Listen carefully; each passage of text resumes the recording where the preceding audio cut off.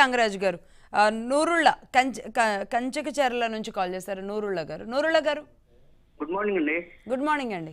Good morning to all sir లైవ్లో ఉన్న వాళ్ళందరికీ ఫస్ట్గా నా ఒపీనియన్ మా దేవుడు రేవంత్ రెడ్డి అన్న మా దేవ దేవుడు చంద్రబాబు నాయుడు. నా ఇష్టం అది. నేను అల్లాని పూజించుకుంటాను చంద్రబాబు నాయుడు పూజించాను. ఒకళ్ళ హక్కుల గురించి ప్రశ్నించాల్సిన అవసరం లేదు.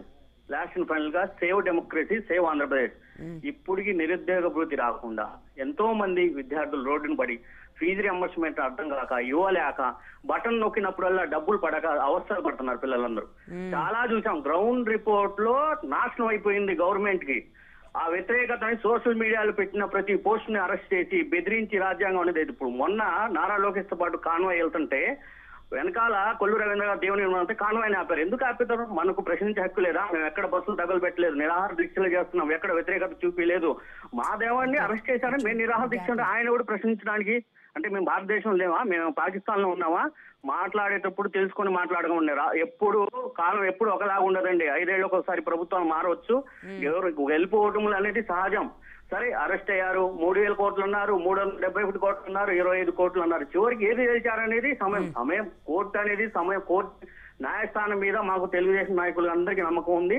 మా బాబు గారిని ఎన్ని ఎన్ని రోజులైనా సరే న్యాయస్థానం మీద మేము మా ఒపీనియన్ ఉంది. ఎవరైనా సరే ఏ ప్రభుత్వం అడ్డుపడినా ఏ బీజేపీ గవర్నమెంట్ అడ్డుపడినా మేము ఎవరి మీద విమర్శలు చేయట్లేదు. మా దైవం ప్రశాంతంగా బయటకు వస్తే చాలు. నేను ఒకటే చెప్తున్నానండి. Save Andhra Pradesh save democracy.